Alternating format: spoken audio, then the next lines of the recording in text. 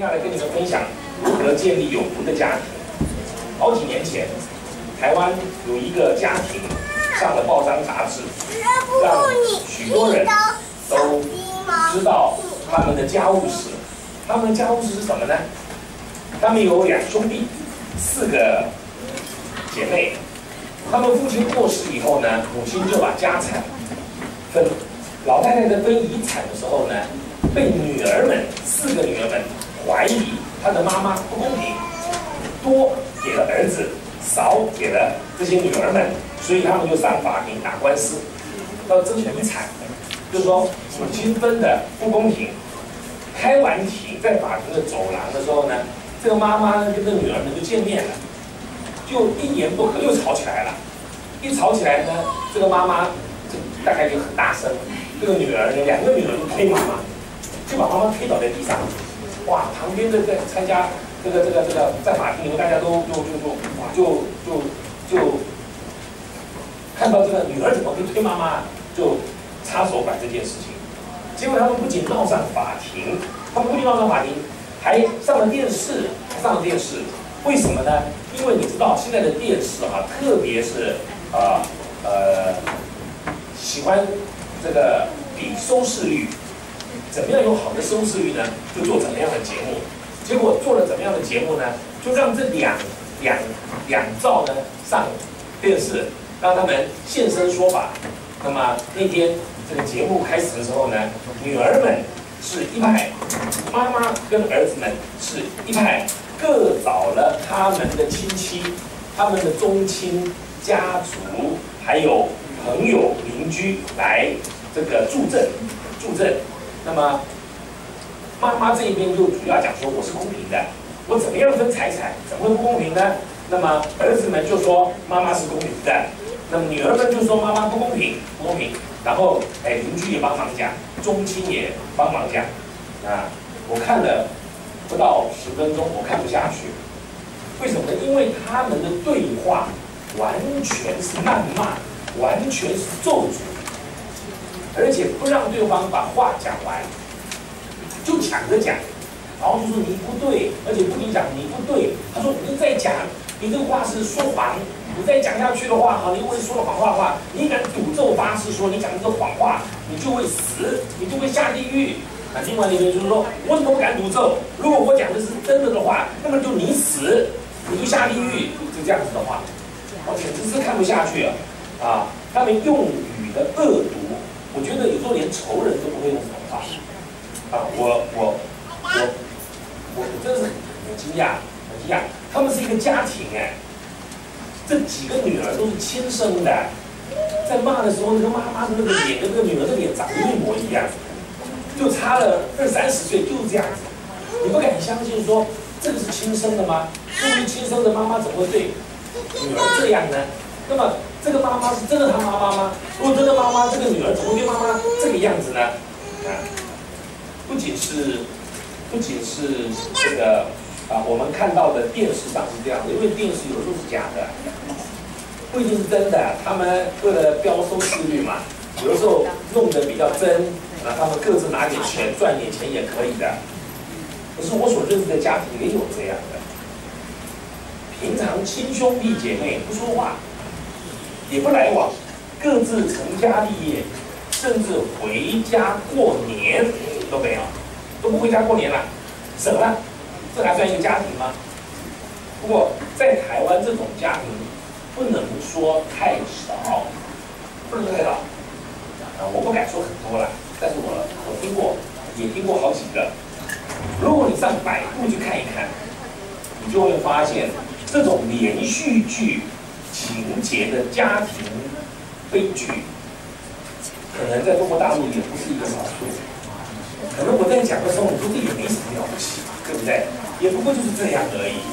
可是这个跟我们所知道的家庭的概念相距不知道有多远。或许我们现在我看这样平均年龄还低，你知道年龄越大，家庭越重要，年龄越大。你越需要家庭你越需要父母子女兄弟姐妹配偶。我常常开玩笑说嘛你知道老的时候谁帮你推推轮椅吗？啊你有钱的话可以用佣人。你如果在菲律宾你老的时候可能有佣人。你到别的地方不一定有佣人。因为有的地方用很贵的。你知道，在欧洲国家，用人的价格跟一个公务员的的的薪水是一样多的。一像在瑞士不用讲，瑞士一个工人一个月的工资是五千美金，一个月的工资是五千。美金不是 peso 啊，搞清楚啊，是五千美金一个工人，而且他不住在你家里的来了，住在你家里的都不能计算的，是一天上班八个小时的工人是五千美金，所以你不一定用得起。我常常说，呃，我开玩笑也是跟弟兄说，我说你这样对你老婆，你觉得你年老的时候，如果她把你推轮椅会好好的推吗？会 好好的推吗？我们我们不太明白这件事情。其实老人，你觉得最后会剩下谁？一定剩下一半而已啊，另一半而已嘛。我，我，我们有两个孩子，儿子女儿其实挺孝顺的。我儿子二十八岁，女儿二十六岁，都很好。可是我儿子结婚了，然后在外面工作，最近好不容易搬回家，他一共可以在家住两个月，以后他就要到美国去读书。美国读完书两年，大概会在美国工作五六年，之后会不会回来？不知道。我女儿大概明年结婚，结了婚之后还有他自己的生活要过，他就会离开我们，以后就剩下我们两个人。所以我早就有未雨绸缪，不把老婆照顾好，我怕她以后毒杀我。其实家庭是一个很很重要的，我们应该享受到家庭的温暖跟和乐。可是我们刚才听到的那些事，跟我们所知道的家庭有很大的、很大的、很大的距离。那今天我们来看一段的经文，来看提摩太后书第一章三到七节。我跟你们讲，你们现在一定会越来越热，因为我们人数多的数多的情况比那个冷气出来的冷气还要强，所以你们就一个办法让自己凉下来，心静自然凉。就让我一个人热就好了，因为我不能不讲，对不对啊？而且你知道脑子在动的时候，身上发出的热很多，所以你现在坐在那边不要动，慢慢的听。OK，我们来读第三节到第七节，提摩太后书第一章三节到七。北秦，我感谢神，就是我接续祖先，用清洁的良心所侍奉的神。祈祷的时候，不住的想念你，纪念你的眼泪，昼夜切切的想要见你，好叫我满心快乐。想到你心里无为之性，这性是先在你外祖母罗以和你母亲有离机心里的，我深信也在你的心里。为此，我提醒你。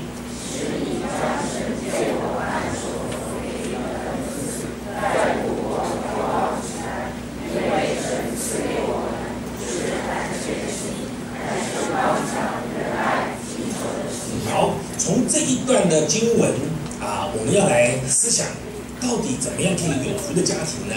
那这一段的圣经，或者说这一卷的圣经是怎么样的情况呢？这是保罗写信给他的学生提摩太这个书信里面的一小段。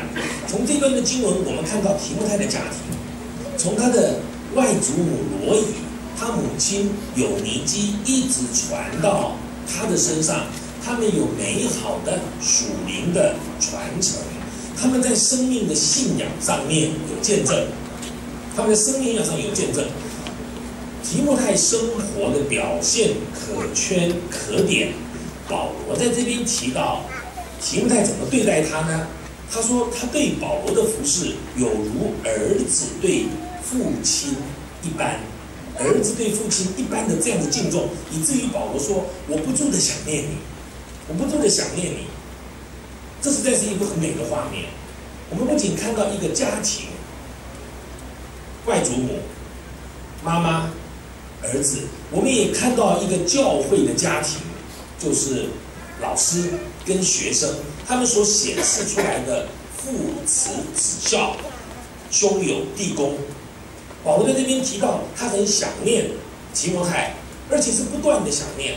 他说：“我想念你，而且是不住的想念你。”他想要见他，而且见到提摩太。保罗说：“我会满心快乐。”说：“我见到你，我会满心的快乐。”这种情况并不多见于许多家庭。有的家庭不是很想见面，老实说，见面是不得已。然后好久没见面的时候，还蛮想见面的。见了面几天之后又不行了，又不行了，几句话就一言不合。我们就会发现，其实这个情况，圣经上形容这个情况，应该是正常家庭所拥有的。但是，为什么很多人没有这样子的家庭呢？为什么很多人并不是真正的喜欢对方、尊重对方，而且想念对方，而且想的时候呢？他说：“我满心不住的想你，而且如果我看到你的话呢，我就会很快乐。”为什么不是这样子呢？但为什么保罗跟提摩太这对属灵的父子，或者我们说罗以、有尼基跟提摩泰这个祖孙三代，可以有彼此这样子的关系呢？啊，我们再读一次啊！刚才你读的时候呢，你不太了解他们的关系。现在你再读一次，我盼望你能够弄清楚他们这样子的一个状况是怎么样的状况。我们再一起来念一遍，好不好？预备，请。我感谢神。就是我谢去祖先用心的想你所受的人，下的时候不断想念你，纪念你的眼泪，昼夜切切的想要见你，好叫我满心快乐。想到你。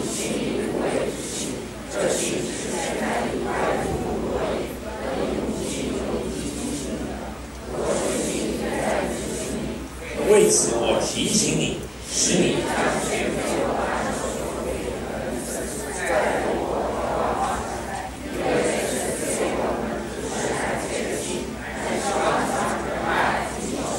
好，从这段的经文，我们来看探讨你们看的讲义第二点：如何追求有福的家庭？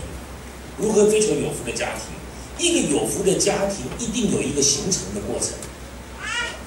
一个有福的家庭不是变出来的，家庭间的人际关系不是自然而然产生的，家庭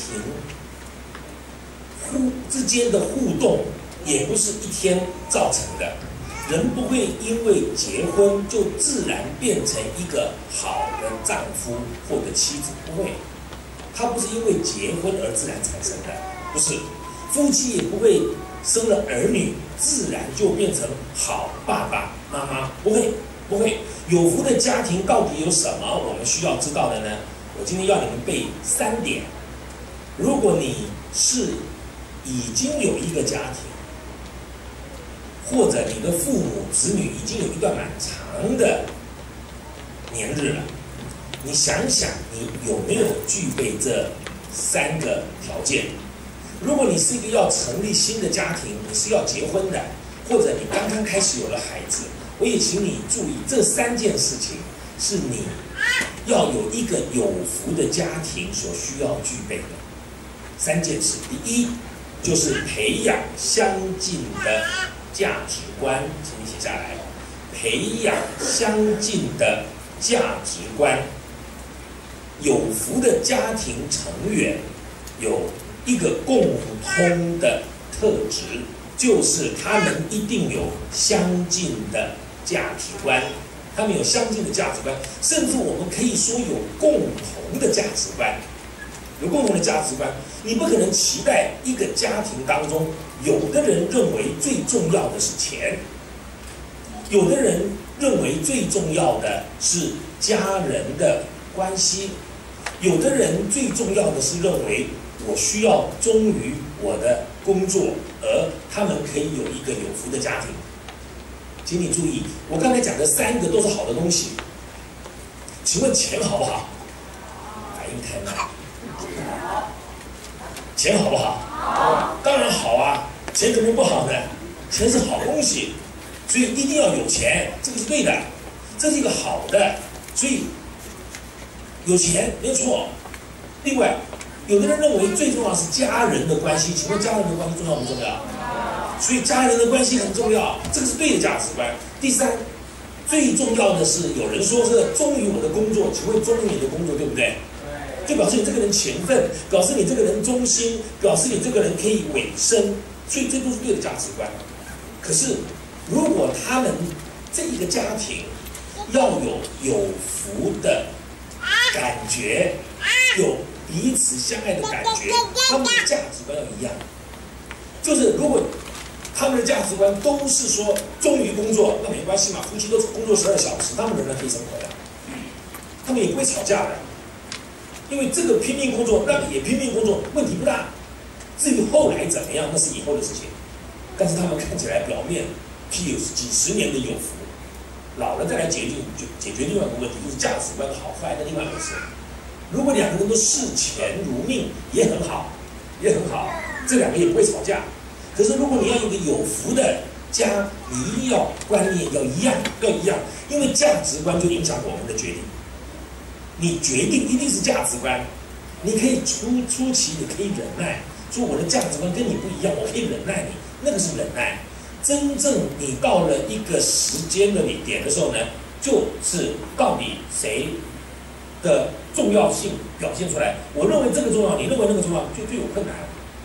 比如说，比如说，如果你如如果你认为钱比时间重要，你一定用时间换钱嘛，因为钱比时间重要，对吧？另外一个人认为时间比钱重要，他就用钱去换时间嘛。一个人想用时间换钱，一个人想要钱换时间，他们是两夫妻，你想怎么可能和乐呢？这个人用钱的时候，那可能就不高兴了，钱不可以这样用啊。那个说怎么不可以用呢？我拿钱去换时间，多多划得来啊。那个说钱怎么可以拿来换时间呢？是时间拿来换钱。那这个看法完全不一样。我儿子在工作，他的工作是很辛苦的，每天工作要超过十二小时，最少十二小时，没没有十二小时就下班了，他从来没有过。十四十五小时是很正常，礼拜六休一天，其他一天如果做十五个小时，它是乘以七呀，要乘以六啊，是九十个小时啊，九十个小时十五乘以六是九九九十啊。九十个小时，一般人两个礼拜，他一个礼拜要做完。以后我们就决定，无论他上班下班，一律坐计程车。哎，坐计程车要不要钱？但是他们一定要坐计程车，他不坐计程车不行的，因为睡觉时间不够。他回了家梳洗，立刻睡觉，然后早上起来梳洗，连再见都不用说就出去了，全部叫计程车。后来他到香港去工作了，到香港去工作了。他就跟我们说，如果花多少钱就可以住，从公司到家里三十分钟的车，然后从下了班再从呃呃家里到公司三十分钟的车，然后下了班再从公司银行回到家里再三十分钟，那这是一个价钱。另外呢，可以可以十分钟的从公司回家，家到公司十分钟的，中间的价格差好几。千，注意听啊，港币，你就要决定啊，你要不要？差两千港币，你要不要？你看看你要不要？我儿子就要了。你知道在华尔街 Wall Street 最赚钱的是谁吗？不是 Wall Street 的那些工作人员，不是，是那里有房子的人，是那里有房子的人。这个华尔街，我我有一个朋友，他就是在他儿子在华尔街工作。赚很多钱，然后他讲一句话，他说：“我儿子赚到的钱，你一半给了房东。当然，你可以做一个小时以外，那就是便宜了。你可以留下很多的钱，你留下钱就不要命，就这样子。你要命就不要钱，你只能选一个？这是价值观的问题。可是，即便有人，即便是这样，还是有人要钱不要命嘛，对不对？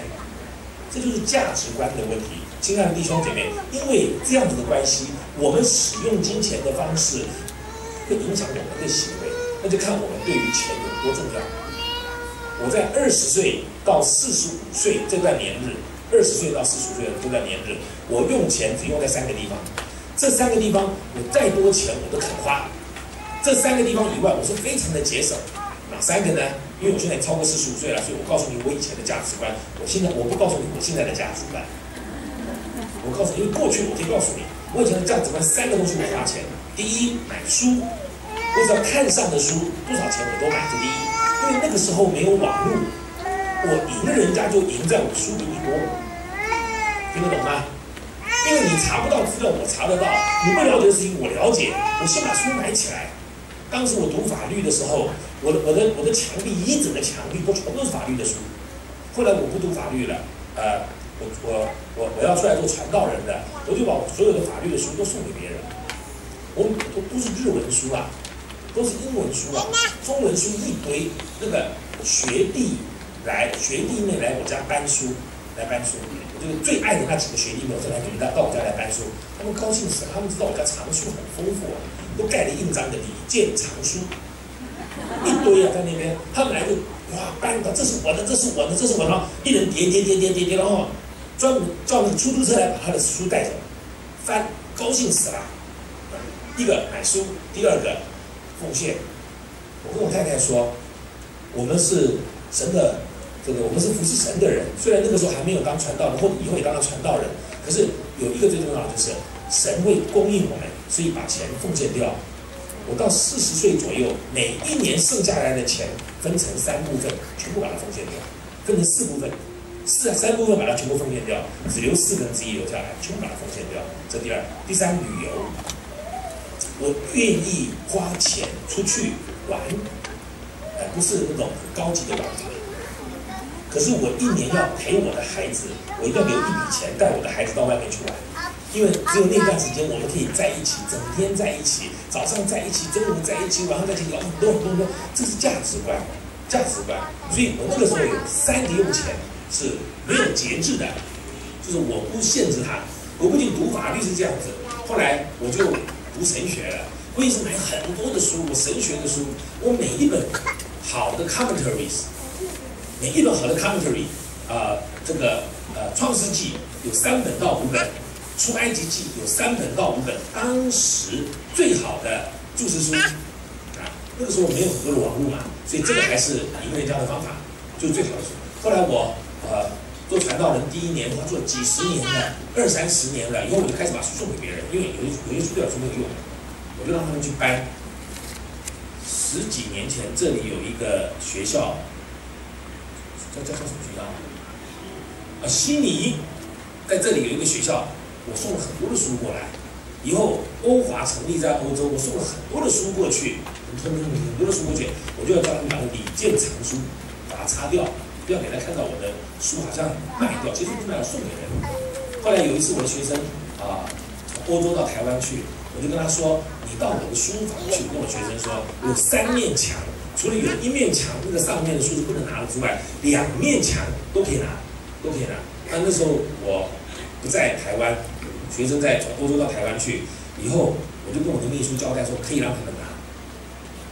那学生进去就开始拿东西，那我们一另外长老就进来，就说：“哎，你们在干什么？”他说：“我们来拿书。”他说：“你们经过李长老同意吗？”他说：“李长老答应我们，这些书都可以拿的。”那我我那个那那那个同工不相信的。他说这是他的命啊，你们给他拿了，经果他同意吗？他说同意，他不相信的，他跑去问我的秘书说真的还假的？然后那个秘书说是真的。他说不行，你再打电话给李长老，确定这些书都可以拿吗？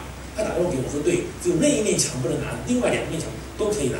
他们一人打包了几十公斤的书，从亚洲寄到欧洲去，费用就不知道多少，因为有太多的绝版的书了，他再也买不到这些书了，花很多的钱。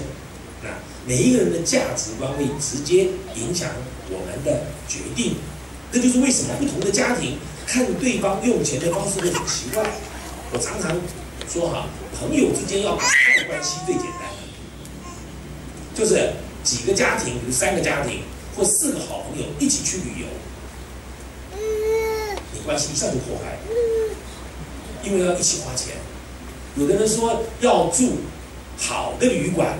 睡得好，一天都有精神。有的人说床上也不过八个小时，干嘛睡好的旅馆啊？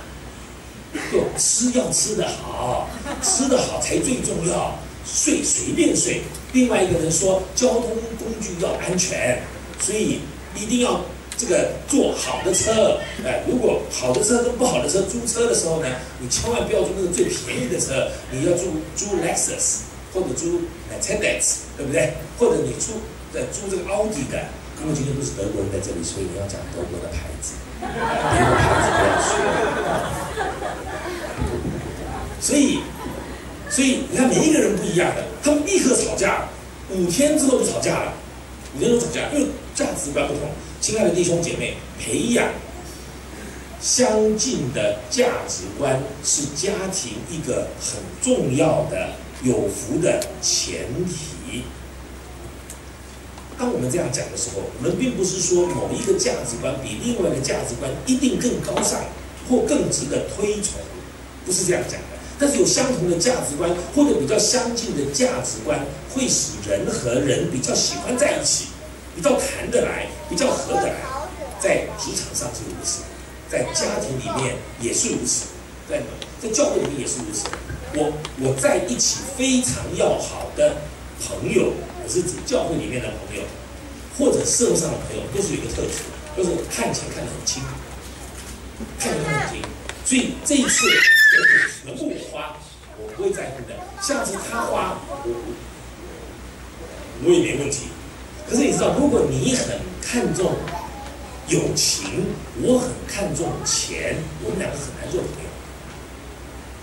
你很看重友情，我很看重钱，我们很难做朋友。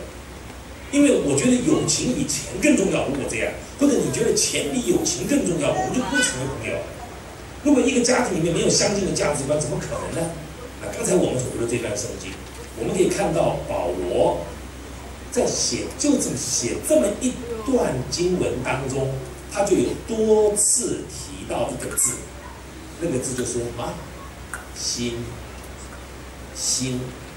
他说：“我感谢神。”就是我接续祖先，用清洁的良心所侍奉的神，祈祷的时候不住的想念你，纪念你的眼泪，昼夜切切的想要见你，好叫我满满心快乐。想到你心里无为之信，这信是现在你外祖母罗隐和我和你母亲有尼基心里的，我深信也在你心里。为此我提醒你。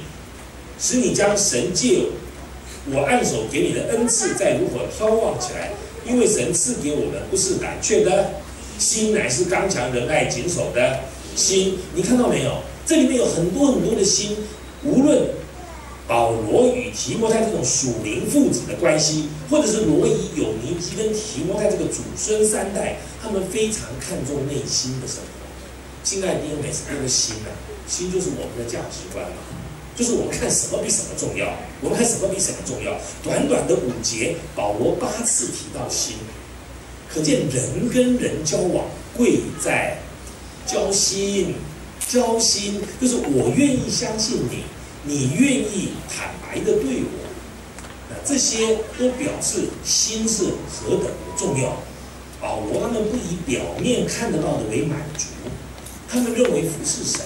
服侍人要用清洁的良心，所以亲爱的弟兄姐妹，如果你想要有一个有福的家庭，有一个很重要的事情就是心。心换成现在的话，其实就是价值观。价值观。当保罗在服侍的时候，他不是要做给人看的，他乃是要从内心去服侍那位创造的主，永恒的真神。我今天中午啊，有一对夫妻请我吃饭，教会的同工。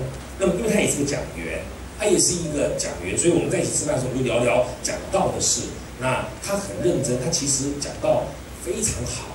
他就跟我说：“他说李长老，请你告诉我你怎么预备讲章的。”那么今天他问我的题目是：“李长老，请你告诉我在讲道之前你在想什么？”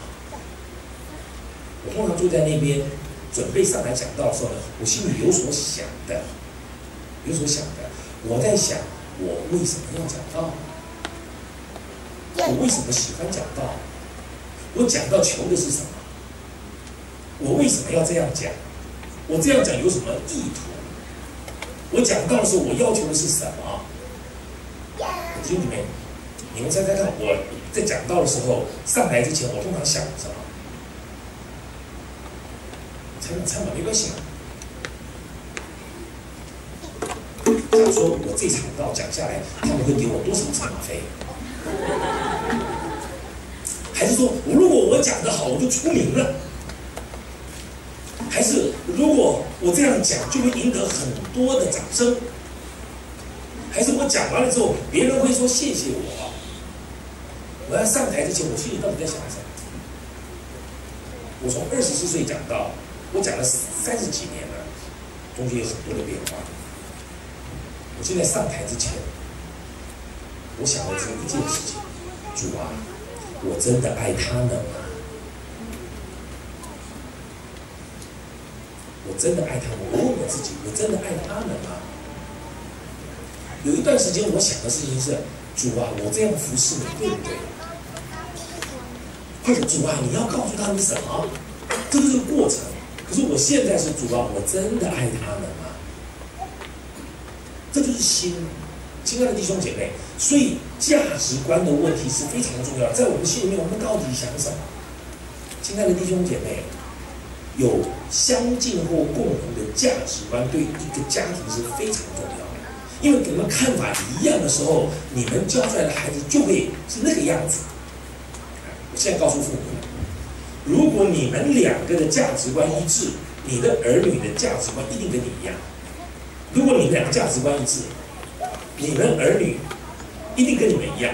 如果你们两个价值观不一致，那么就会让孩子有一个选择，他到底要选择哪一个？但是对他们来说，即使是这样，对他们都不是一个很好的见证。因为他们还是会有一个矛盾，基于人性的败坏，通常他会选出来的东西，不会是你们两个当中比较好的那一个，是会比较坏的那一个，甚至是发展出另外的一个你不能想象的更不好的一个。因为在他的里面，我的父母应该是全世界对我最好的，我的父母应该是他们两个爱对方，应该是爱。超过爱任何东西的，他们两个怎么会对着对方的观念是不认同的？他们不会这样分析，他们没这个能力。可是他们隐隐约约觉得我的父母到底有什么地方不太对，所以他在选择的时候呢，他在学习的过程就会有问题。比如说，如果父母是一个，注意听啊，如果父母是一个尊重别人的人，跟一个父母是一个自我中心的人。这这两个在父母的里面，或者在一个父母的里面是尊重别人，一个父母是自我中心，或者两个都自我中心，或者两个都尊重别人，那么这孩子成长的过程当中，父母两个都尊重别人，那个孩子基本上会尊重别人。如果是两个都自我中心的，原则上孩子一定自我中心。如果一个自我中心，一个尊重别人，你觉得呢？啊，一定自我中心吧，不会尊重别人的，因为人会选择坏的那一个，不会选择好的那一个，因为通常好的品格都是让，很少好的品格是抓，没有的，都是给，都是让，所以你会发觉那个家庭是怎么，那个孩子怎么出来的，那个孩子的表现其实大部分都表现出父母。因为人在别人看不见的时候所表现出来的，跟人在人看见的时候表现出来的是不一样的两面。你的孩子会反映出你私下的，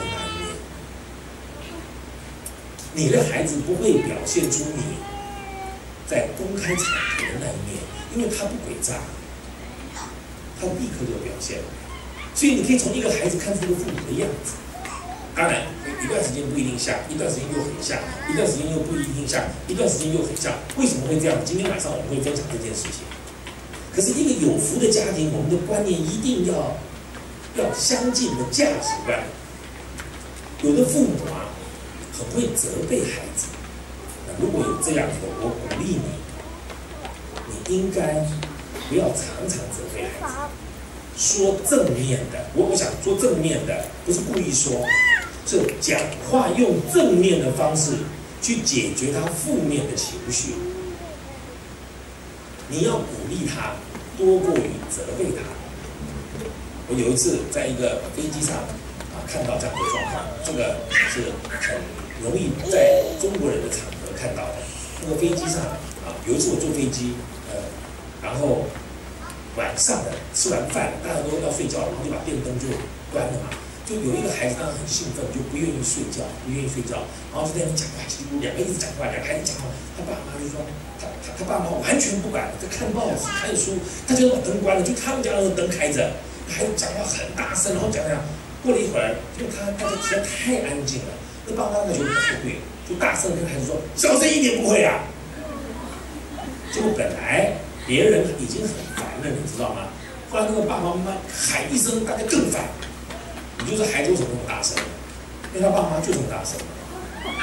我另外一次看到看到一个一个外国人坐在一个飞机上面，看到一个外国人，男的男的男的，哇，长得又高，一一米八一米九，很很好看，然后拿了一个抓了一个公事包，拎，好奇怪，他右手这样拎着一个一个婴孩，大概会爬还不会走路，还不会走路，他爸爸就拿了公事包，就拎着一婴孩就上飞机。上飞机，然后那个婴孩还不需要自己买一个座位的，他就坐下来，然后就把孩子拎着这样子。后来飞机起飞之后呢，那孩子都没有哭啊，没没没也没有也没有也没有闹也没有叫，后来嗯啊的，那小那爸爸就是拿喝，喝了以后呢就把他放在地上，那孩子就自己爬来爬去爬来爬去的，爬就是绕着他爸爸爬，就坐在坐着，他爸爸就爬上了台，又爬下去，他爸爸就他爸爸在看书，然后就放下去，让他讲，哇，我就很惊讶，很惊讶。后来那孩子就要要讲话的时候，他爸爸说很小的，他说，那爸爸比那孩子还小声，那孩子就会更小声，以后爸爸就更小声，那个孩子就更小声，就是家庭教育，家庭教育，你怎么样，你的孩子就怎么样，这个是价值观，你怎么做一件事情，我跟我的太太从很小训决定训练孩子，就是训练他们的独立。所以我们通常会让孩子自己决定要做什么事情，我们可以慢慢谈，明白吗？跟孩子慢慢讲。当然，我问你，他错的几率高不高？高，他错的几率很高。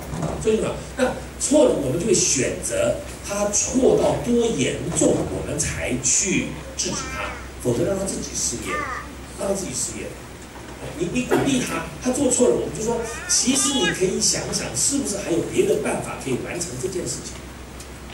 其实他做的决定不是很好，可是没有关系，因为当他做了决定之后，他就会学习负起责任来，负起责任来。最有最最最有那个呃名的例子啊，好几个，我讲过的，你讲过一个，就是我的孩子考上大学的时候，老大考上大学的时候呢，他是考上了六个系，六个系，对吧？选一个系嘛。那我自己是在大学教书的。我我又很有兴趣研究各种学科，所以我就有想法的，我就想说学这个比学那个更好，这是我的想法。但是我我我我跟我儿子谈的时候呢，我不是告诉他这六个里面哪一个最好，我不是这样讲的。我跟我儿子说，我们来商量商量，你要读什么？然后他说好，我们来商量。因为我儿子很有主见嘛，从小就培养他的。后来我我的决定是，我们共同拿掉三个，剩下三个你自己选。他说好啊，我们就把六个里面我们两个认为比较不好的三个拿掉，剩下三个由他自己做决定。猜他决定出他要念的那个科系，在我的心目中是排名第一、第二排第三？第三啊，正常就是这样啊，因为他看现在嘛，他不看很远啊。他说这个最最最最划得来嘛，我毕业就可以赚多少钱了？啊，我不能说不对，对不对？可是你前面赚的快，你后面赚的慢。你前面是实用的，那你基础的就不好嘛？那你如果打基础的，你就要读更多的书嘛？这是每个人不一样。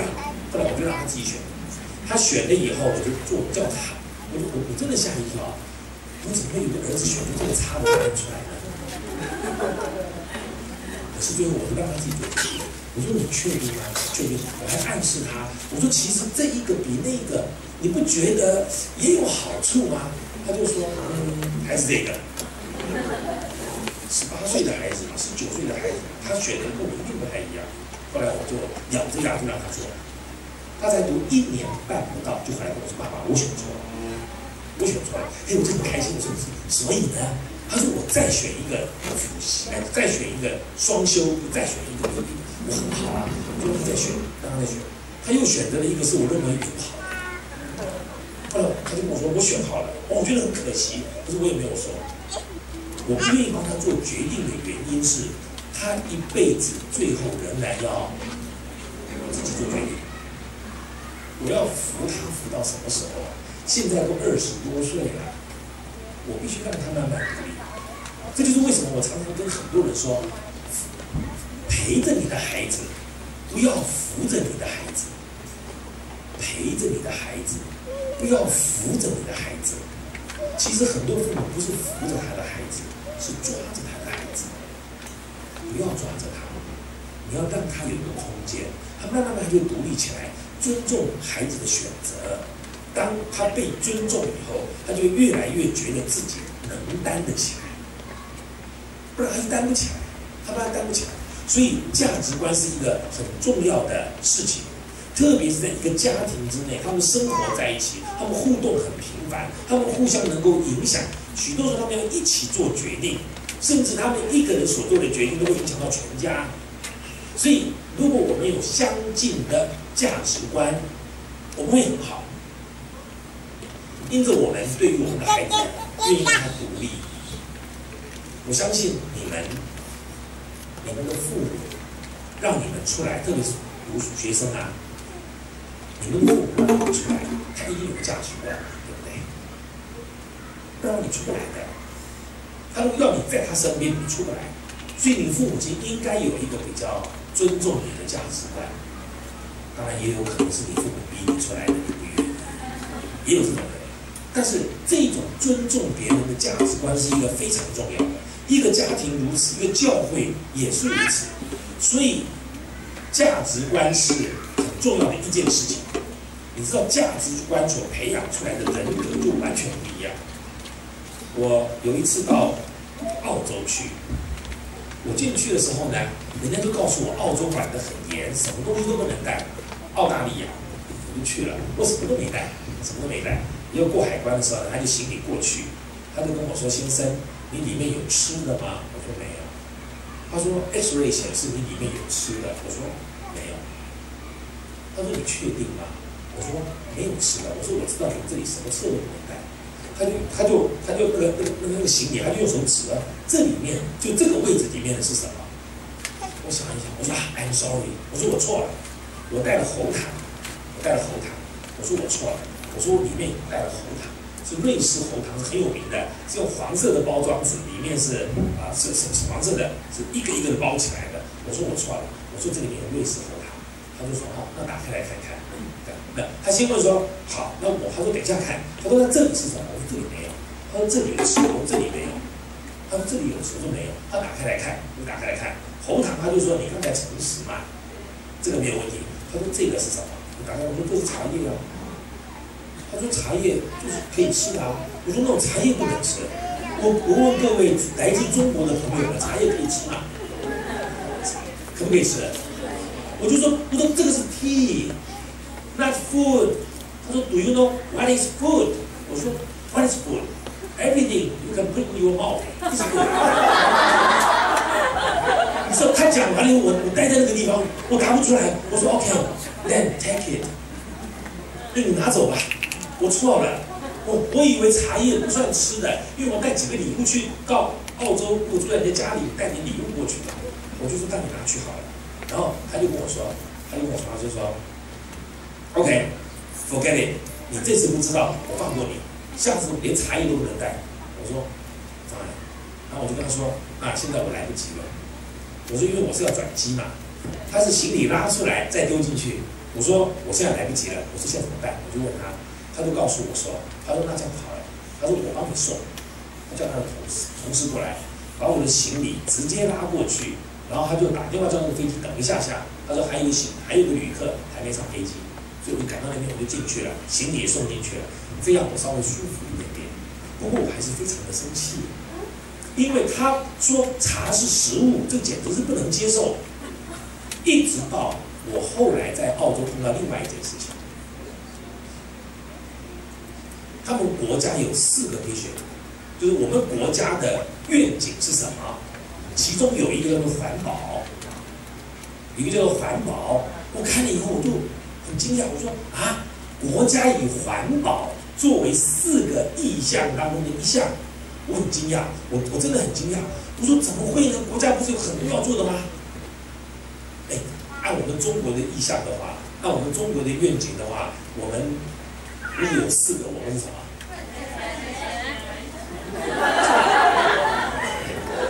你们也太诚实了。不过我讲的是国家，赚钱，还有呢？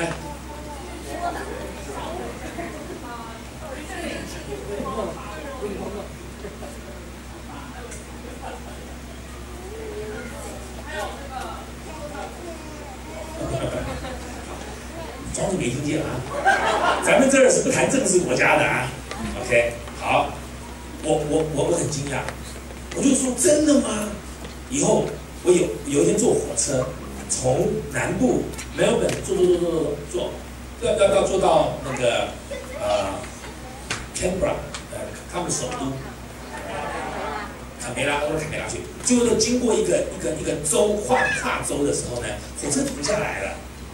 火车广播，他说什么呢？他说各位，他说各位旅客，我们现在马上要越州了，我们马上要跨过这一周了，请各位检查你行李里面有没有还没有吃完的水果，请你拿出来吃掉，并且把留下来的那个残余的那个果皮以及里面的核籽包起来，我们会在几分钟之后找人过来收这些东西。我听到广播，我说我大江南北也跑得很远啊，从来没有火车停下来说叫你吃水果，然后要把那个水果的核什么都要留下来，我说干什么呢？然后他就说了，他说因为我们在这一周所买的水果，在这一周吃掉，请不要带到下一周去。哇，我很惊讶，我很惊讶，因为他说种子是这一周的种子，种子啊。比如说是啊，苹果对不对？或者是这个梨子不是中间有核吗？或者是桃子有一个籽吗？他说，请把籽留在这一周，因为这一周的种子不带到那一周去。我想起他们的环保。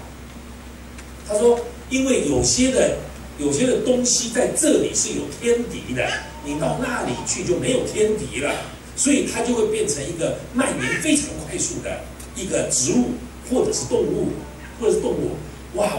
我那时候突然对澳洲人非常的敬佩，我很高兴他告诉我，茶叶是食物，我也很甘心的，如果他那天把我的茶叶没收了，我都觉得是对的，因为连他们自己内部都管控成这样，可见他们尊重那个环境到了一个地步，他们觉得人应该保护环境，环境是我们共同生存的地方。如果我们不弄好，我们的环境不好，大反扑的时候，人类就没希望了。这很有道理啊！臭氧层打破就是因为这个缘故嘛。这个地球暖化也是因为这个缘故嘛。我们冷气不断的开，一直排泄二氧化碳，这么多的车子怎么能二氧化碳上去不把这个臭氧层打破呢？因为这个缘故，亲爱的弟兄姐妹，价值观是很重要的一件事情。夫妻两个有相同。或相近的价值观很重要。你或许听这个你不会觉得很重要，但我告诉你，这个非常重要。因为两夫妻大概正常在人类平均的寿命当中，大概要相处五十五年到六十年。五十五年到六十年，现在终于害怕了吧？你不结婚也没关系的，我告诉你，你何必呢？跟一个人在一起五十五年到六十年。结婚的时候是白雪公主对白马王子，对不对？过不久都变成黄脸婆，你会发现，然后变成秃头呢。所以，亲爱的弟兄姐妹，培养相近或相同的价值观是有福的家庭的第一件事情。第二，第二，请你写下来，建立有效的沟通管道。怎么样才会有相近的价值观呢？怎么样可以培养相近的价值观呢？最重要的就是建立沟通管道，建立有效的沟通管道。刚才我们提到这封这个经文是保罗写给提摩太的信，他用书信表达他的情感，用书信表达他的价值观，他说：“神所赐给我们的不是胆怯的心，乃是刚强仁爱、谨守的心。”他向他属灵的儿子表达他的一个想法，表达一个基督徒应该有的心智是遇事不退缩，遇事特别是困难跟艰苦的时候，要用坚定的力量去面对。这是他写信给他的属灵的儿子，属灵的儿子，他要。提摩太用神的眼光来看所遭遇的事情，他怎么样来跟他的这一个属灵的儿子取得一样的价值观呢？是透过书信，透过写信，你就发现这是沟通的方式。通过写信来沟通他们的价值观，有效的沟通管道是家庭有福很重要的一个因素。其实很多的家庭。他们的问题在于沟通不良，沟通不良。请问你愿意把你的话告诉谁？请问你愿意把你心里面所想的让谁知道？请问你心里面最痛苦的时候，你愿意让谁分担你的痛苦？除了上帝以外，你相信谁？很奇怪的一件事情是，两个人谈恋爱的时候，什么话都肯说；结了婚以后就渐渐不说，到老的时候不相来往。有效的沟通管道是很重要的。其实，如果我们沟通不不通不畅通，有很多的误会，因为讲的不够清楚，所以想两个人的想法有时候会搞错。一直以来，我因为做。牧师、传道人，我有机会参与并排解一些家庭的纠纷，当然会常常在同工同仁彼此误会的时候呢，去帮他们解决他们的问题。你知道我最常一个感觉是什么呢？这边听完了，跑到那边听；这边听完了，跑到那边听。或者夫妻两个先听丈夫的，我再听妻子的；听完了妻子的，再听丈夫的。我通常最后下的结论都是打错架。他们两个误会，不应该这样的。他的意思他没听懂，他的意思他没听懂。他们两个其实差距不大，可是误会了对方。所以有效的沟通管道是很重要的。如果一个人能够让对方讲清楚，或者一个人心平气和的去思想对方所讲的，对方的建议，可能问题不那么严重。今天我们最多的就是带着情绪去处理问题，很多父母处理儿女是带着情绪的，很多父母处理儿女是带着情绪。他为什么对他儿女这个样子？因为他觉得自己被委屈了，在外面的工作上面，或者夫妻两个感情不好，就打孩子生气来出气。所以你知道，这样子是一个不健康的一个沟通的方法，其实是会造成更大的误解。其实很多时候，我因为沟通不清楚，不愿意先低头，不愿意先让步，就造成了彼此的误会。我跟我太太刚刚认识的时候呢，我就发现我太太喜欢讨论事情是面对面的，直接解决问题。可是我认为呢，直接解决问题通常很困难，就一定要把问题弄到清楚，我觉得很困难。所以我比较喜欢说，我们来解决问题。我一段时间我就发发现，我跟我太太谈话的时候，我太太老是喜欢坐在我对面，就这样对着讲话，意见不一样就直接讲这样。后来我几次发现说，他讲话好像就一定要对着我讲，以后我就说这样好不好？我们讲话的时候哈。我们坐在另外一个位置上面，啊，桌子本来是这样的，对不对？两个人面对面坐的，对不对？我我我常常就来，你把椅子拉过来，或者我把椅子拉过去，或者？他坐在这边，我本来坐在这边嘛，我就把椅子拉到这边来，然后坐在这边，然后不要面对面吵，我们看着对方，看着前面，两个人都看着那边讲话，你知道就不容易吵起来了。因为我说我们的方向应该是一样的，我们是要解决那个问题。不是解决对方啊，是解决那个问题。你知道，结果我们俩就这样做，就这样讲，就不要看到对方的脸。我就说，其实你的意思我也明白，我是看外面了。我没看到他。我说其实你的问题我也明白，只是我的看法觉得应该怎么样怎么样，你觉得呢？然后他也看得远远的，他说其实这个可以考虑。哎，突然软下来了，因为没有看着对方当做一个敌人嘛，所以有效的沟通管道很重要，要建立相近的价值观，要透过有效的沟通管道，要沟通，要沟通。哎，我我我们跟我们的儿女也是一样。我们大部分事情是沟通出来的，儿女不一定错。很多父母，我觉得特别中国人的父母，觉得儿女只有耳朵没有嘴巴，你只能听照我的做，我比你厉害。你永远靠着这样的方式跟你的儿女保持关系，你想想看，将来有一天他他拳头比你大，知识比你多，金钱比你多的时候，他怎么对你？他会好好的孝顺你。你慢慢做梦吧。你怎么对待他，他就会怎么对待你。他不是报复来的，他真的不是。他以为这样是对的。你听得懂吗？因为他没有别的学习管道，他的管道就是强的就可以压制弱的，多的就可以强迫少的。你知道日本人就有这种，这种。带孩子的方法，日本人永远对孩子非常好，可是不孝顺父母，这是日本的传统，你们不知道啊？日本父母都对儿女非常好，可是对自己的父母不孝顺，然后那个儿女长大之后呢，就对他的儿女非常好，对他的父母不孝顺。然后再再来下一代，所以每一个日本的老人都自己要想办法解决自己的问题。然后他还是爱他的孩子，可是他不期望孩子对他有任何的回报，他不期望，因为他们就是这样对待下去的，那是他们的价值观。我再说好不好很难讲啊，你接受也是很好啊，对不对？可是我们中国人不是，我们中国人希望要孝顺父母，你希望他孝顺你，可你可你对待他是对的方法，他怎么孝顺你很难的。所以这个有效的沟通感倒是很重要，很多是要跟孩子谈。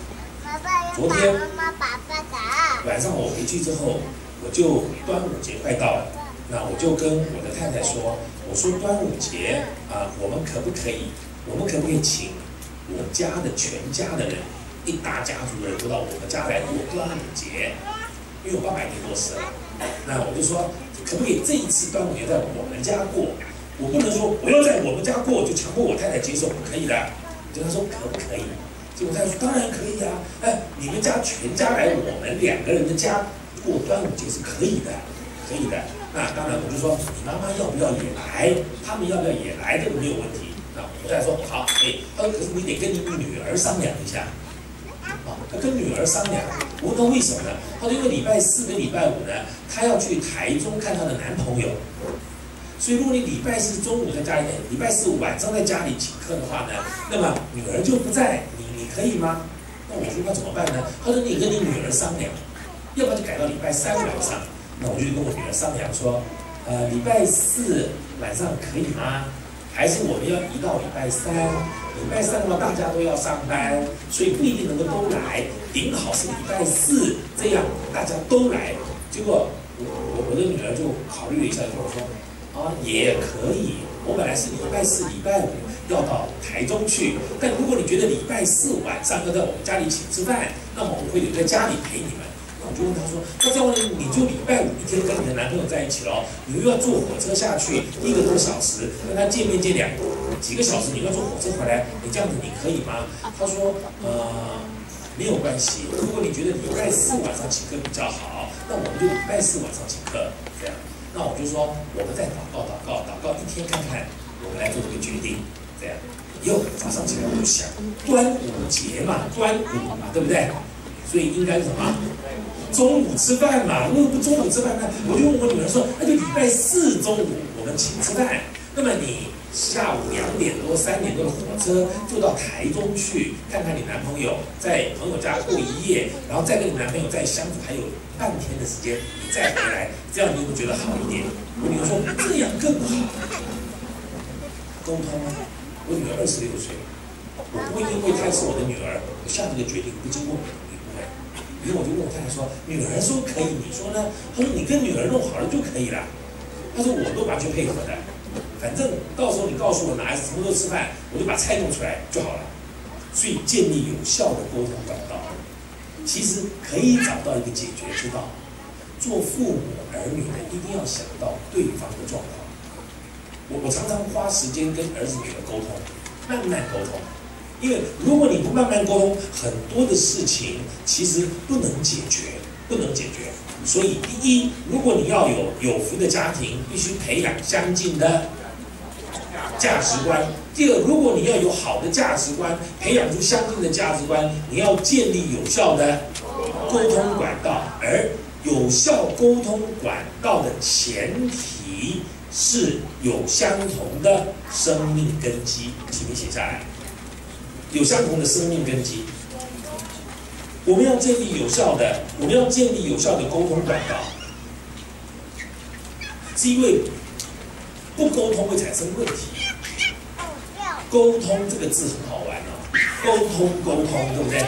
沟是水沟的沟，通就就流通了，所以沟通的意思是指那个水可以继续流动。你知道马尼拉最大的麻烦就是不通。对不对？下水道不通，因为垃圾太多，就塞在下水道里面，所以呢不通。如果它把它通的话呢，排水就很快。人跟人之间也是，怎么会造成误会呢？因为我们很久没有沟通了。一条水沟，你常常扫就容易扫，你不常扫，堆积了很多东西，等你真正扫起来就不容易。所以要花很多的时间跟对方沟通。我刚刚结婚的时候，啊，我很忙，因为那个时候我一方面啊要工作，一方面在教会有很多的服饰。在我们结婚的前几年，我几乎找不到时间跟我妻子，因为我要很多的服饰，又有工作，而且有两个工作，我要呃在学校教书，然后在一个政府机关工作，然后又要服饰。啊，所以通常我回家的时候呢，都累得个半死。啊，其实坐下来就很难讲话了。我们两个在结前结结婚的前几年，永远在卫生间沟通，在浴室沟通，就是我在洗澡的时候，他坐在马桶上，说今天到底发生了什么事。我边洗澡告诉他我今天发生的事情。他洗澡的时候，我坐在马桶上，不是这个美女出浴图，不是，我不是看这个美女怎么洗澡，我是跟他讲我心里面的话，然后他讲他心里面的话，我们只有在那段时间有时间，因为通常其他的时间都累坏了，我没有时间沟通了。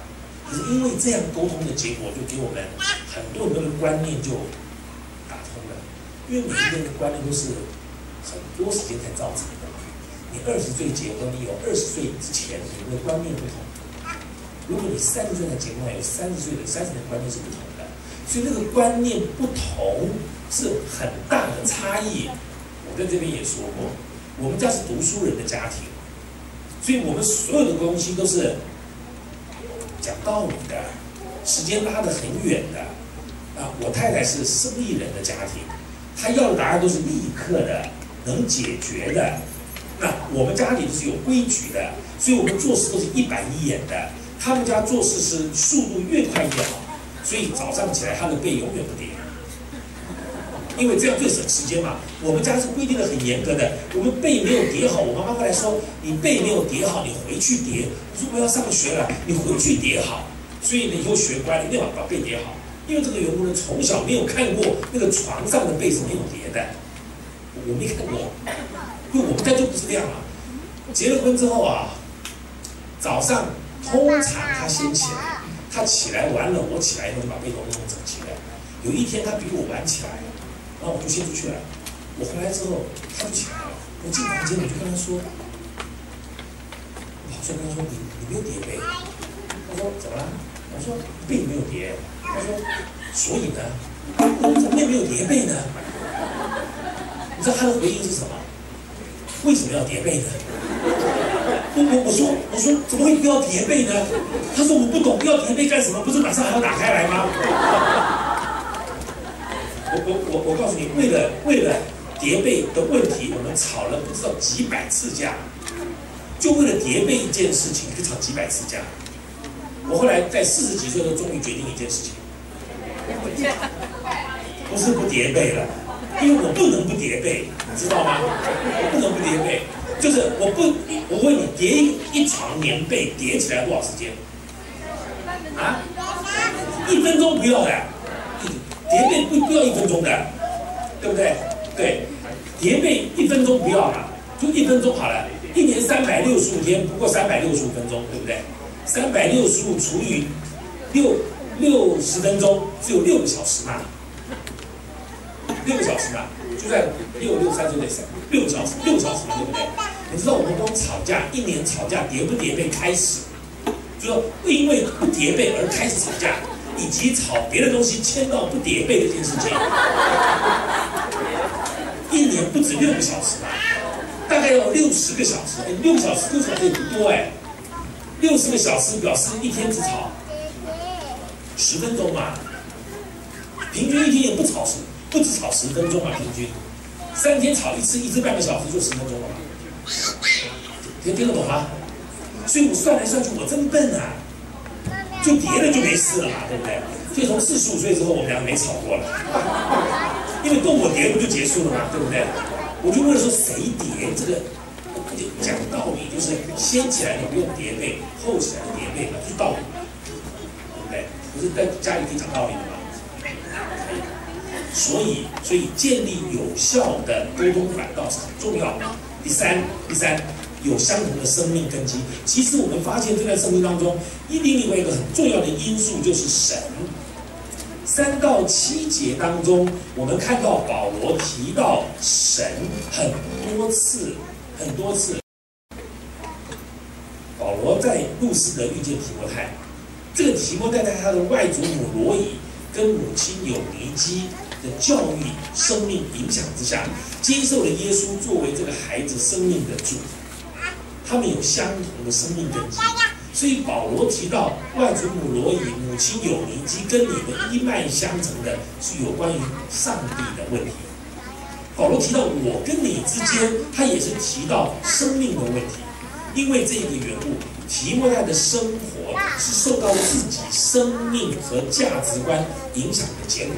而他的生命跟他价值观影响他最深的，就是他祖母跟他母亲传给他的耶稣基督，享有相同的生命根基是很重要的一件事情。